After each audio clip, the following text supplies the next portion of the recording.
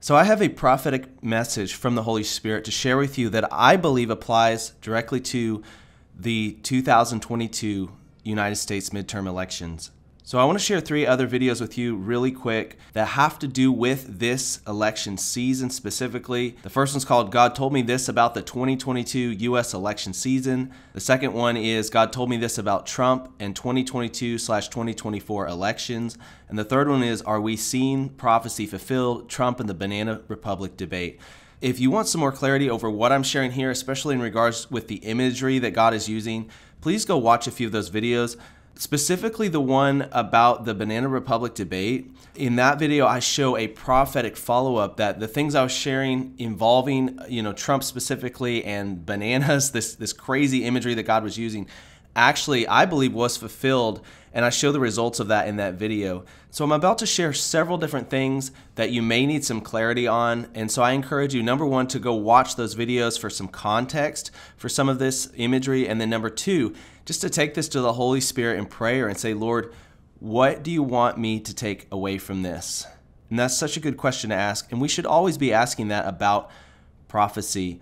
Uh, whether that's prophecy that's shared with us specifically from someone else or prophecy that's shared online, we always need to run it by number one, the Word of God, and make sure it aligns theologically. And then number two, we need to ask the Holy Spirit, Lord, number one, is this from you? But number two, how does this apply to me specifically. And I believe the Lord will give us more clarity as we seek Him about that. Y'all, and I, am just feeling the presence of God right now. So I'm really excited about what I'm about to share. So I'm going to pray and then I'm going to share this. Holy Spirit, I just invite your presence in. I ask that you give me the words to say, that you would help every person listening to hear from you, Lord, not from me, Jesus, but from you. That you would speak clearly to their hearts, to my heart as well. And that you would get all of the honor, glory, and praise in Jesus' name. Amen. Okay, so this is what I saw, y'all. This was actually on October 28th, so just a few days before I'm filming this. I saw a vision of a stack of many bananas, very similar to these other visions I saw before that I believe have been fulfilled. And we've seen that these many banana bunches, they were wrapped in this like transport plastic wrap as if they were, you know, being shipped to stores. And then I saw United States dollars, and this was very vivid imagery that I was seeing in this vision from the Lord. And then this is what I heard I heard this phrase, a triple threat. And then I heard this is going to occur over the next few weeks. And so I just heard this a few days ago. And then I heard a jostle to the U.S. economy that people were not expecting. Instability left over from the establishment being rocked over the course of 2020 and 2021 and then I heard the Banana Republic in motion. And so I looked up this word jostle. It actually means like a push, an elbow, or like to bump against someone roughly. And typically is something that happens in a crowded area. I also looked up this idea of a triple threat, and that can reference sports. You know, someone that's really good at three different areas of a certain sport. Like I used to play basketball, and the coaches would say, This is the triple threat position where you can pass the ball, you can shoot the ball, or you can dribble the ball. You know, any any of those things you can do it as soon as you need to be able to. And I believe in this case the triple threat actually is referring to the warning of this this jostling, right? So this is not necessarily saying the US is in a triple threat position, but rather this thing that's about to happen is going to hit in three different spaces or three different areas. This is the next thing I heard. A month and a half from now you will see the full effects. And then I heard a dark horse situation. And then I heard this phrase, this is about to happen. So that phrase, a dark horse, refers to uh, like in, in, in a racing setting, a horse that nobody was expecting suddenly like emerges and, and comes forth to, to win. And I believe that this dark horse situation is referring to something that's specifically happening during these midterm elections. And I believe we're going to see some of this other stuff coming out uh, in different ways after that. So I prayed about this, y'all, and I said, Lord, today, what do you want me to share, you know, based on this? Because a lot of times God will give me a prophetic word of encouragement or teaching to go to go along with, you know, a word of knowledge that He's giving me. And sometimes, yes, I admit the words of knowledge that God gives me are a little vague. Other times they're very specific.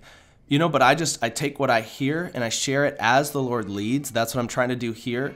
But this is what God gave me when I prayed about this word. I was literally in, in my office kneeling before the Lord and just praying. He said, Stand up and go outside. And so I stood up, I walked outside, and this is what I heard the Lord say. He said, I want you to resolve, and this is not just speaking to me, y'all, this is this is speaking to us as the body of Christ now during this season. I heard the Lord say, I want you to resolve to say and do what is right this election season. Don't say what you want to say. Say what I give you to say. Open yourself up to the love of a father who longs to draw all his children in, and to the compassion of a Savior who draws all men unto himself. So, y'all, I'm going to wait upon the Lord and I'm just going to pray. And this is what I'm going to ask for. I'm just going to ask for the Lord to give me, to give us as his body, his heart for the next few weeks, for this next few months. I'm asking for the Lord to give me his compassion.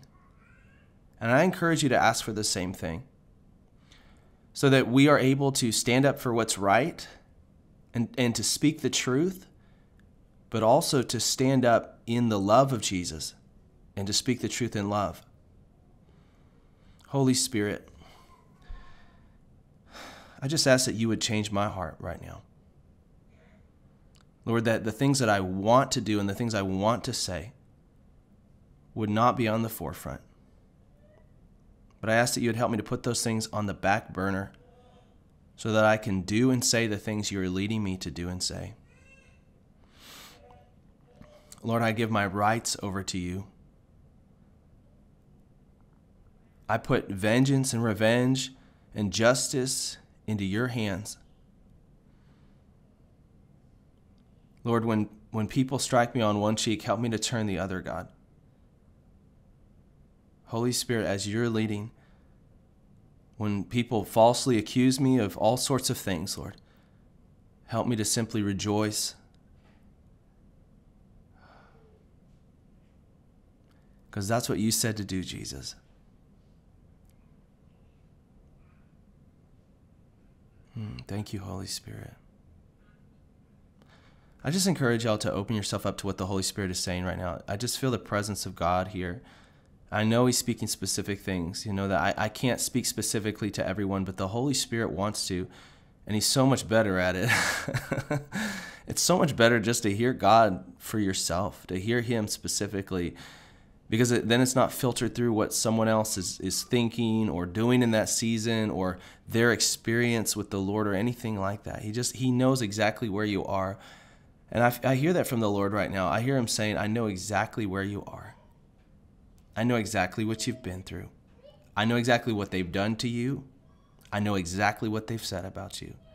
But I'm right here to give you clarity, clarification, to give you the words and the wisdom you need to move forward in this season in the joy of the Lord, not frustration, and with the faith of Jesus, not the fear of the world. I y'all I just feel the Holy Spirit on that, and that is that is just so awesome. Thank you, Holy Spirit. Thank you for your presence. Lord, thank you for your power at work, God, to change my heart, to change our hearts. Thank you, Holy Spirit. Lord, I ask that you would put the right people in place this season, Lord that you would help the right results to come from this election, Lord, this midterm election. God, I just ask for your kingdom to come, your will to be done, and that any part you want us to play, Lord, as your people, that we would be led by you, not by our emotions, not by our fears, not by anger, but we would be led by you, Holy Spirit, to take the right steps at the right time. Lord, I just ask that you would write your laws upon our hearts, God even above the the the laws that this world operates under, God. I ask that you would write your laws upon our hearts, Holy Spirit.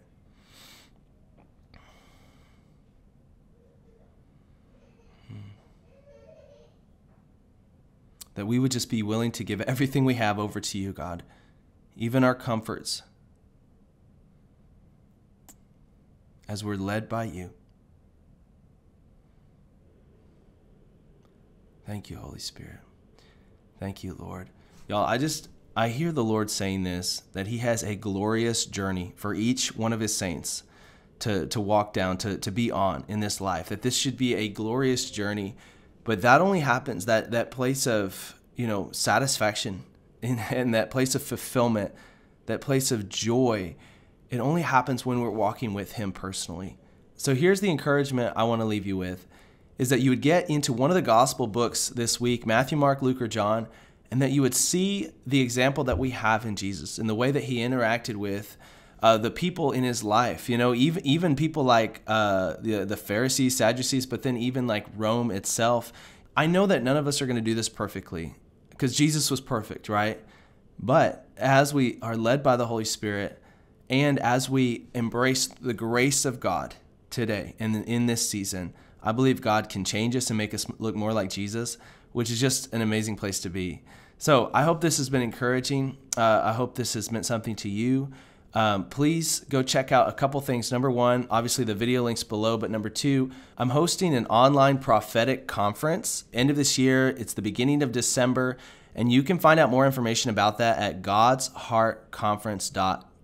I did it last year as well, and you can actually go watch last year's conference. This year's is going to look a little different. And if you want to find out those details and, and find out the schedule and as the speakers are being announced, that kind of stuff, if you want to keep up with it, go check out godsheartconference.com. I love y'all so much, and I'll see you next time.